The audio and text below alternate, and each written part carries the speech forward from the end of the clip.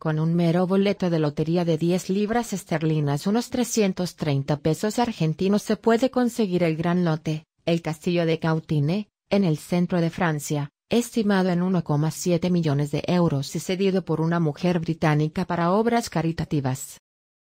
La filántropa Ruth Phillips solo puso dos condiciones para poder participar en esta insólita oferta lanzada en el sitio www.guineafrenchateao.co.uk.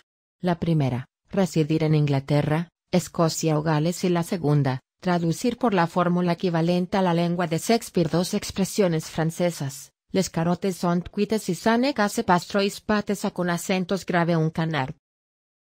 Los participantes pueden comprar uno o varios boletos, hasta que se hayan recaudado 500.000 euros o, si no se alcanza esa meta, hasta la fecha límite del 12 de julio de 2018. La actual propietaria prevé donar el 5% de las ganancias totales a la St. Petrox Society, una asociación que ayuda a gente sin hogar, según el diario Daily Mail. El resto servirá para financiar la construcción de viviendas prefabricadas y baratas que pueden entregarse a las personas en tan solo una semana. Construir viviendas asequibles es la primera preocupación de Ruth Phillips que milita por el derecho a una vivienda para todos y por la construcción de viviendas ecológicas que no dañen el medio ambiente, explicó al Daily Mail.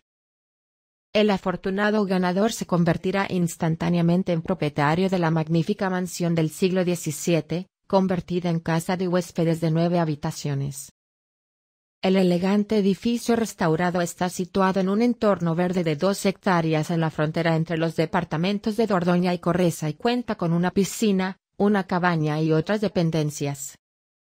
El lote incluirá a un jardinero y un guardia, y la promesa de facturas de mantenimiento pagadas durante un año.